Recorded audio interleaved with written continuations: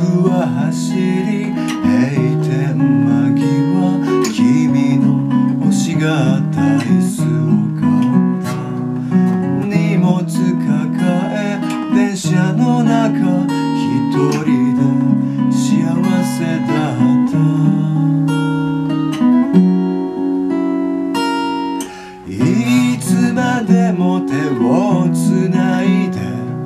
いられるような気がしていた。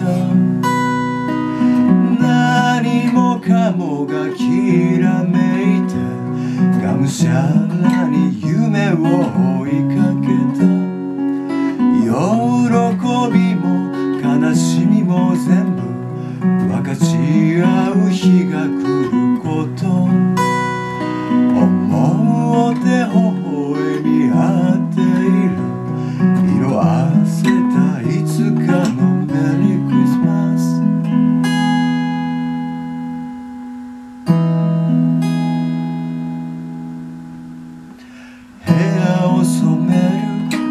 るろうそくの火を見ながら離れることはないと。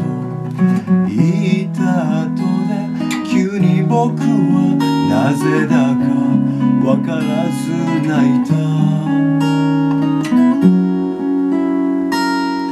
いつまでも手をつないでいられるような気がしていた。何もかもがきらめいてがむしゃらに夢を追いかけた。君がいなくなることを初めて怖いと思った。